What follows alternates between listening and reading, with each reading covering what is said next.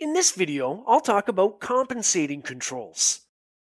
There are many different categories of controls that can be used to secure business processes or assets.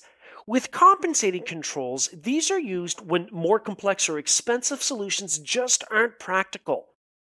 Now, we also might have an inability to comply with specific security requirements due to business or technical restraints, such as limits within our budgets or even a limit with our internal skill set.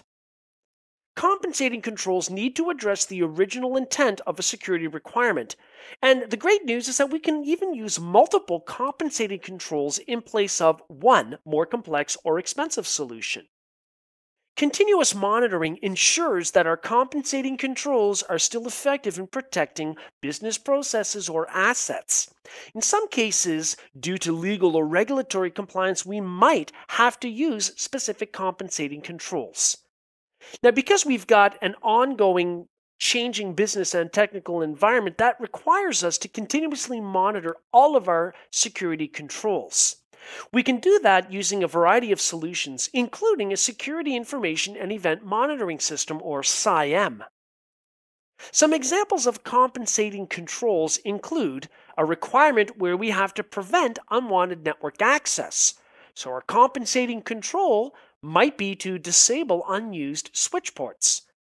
Another requirement might be segregation of duties as related to a specific business process.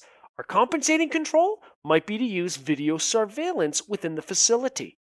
Another requirement might be to use multi-factor authentication for each application. However, a compensating control instead might be to use network access control to control network access in the first place with multi-factor authentication. When you look at specific requirements, such as with PCI DSS for organizations that deal with cardholder information for credit and debit cards, they will list some compensating controls that might be used in place of other more complex or expensive solutions. In this video, we talked about compensating controls.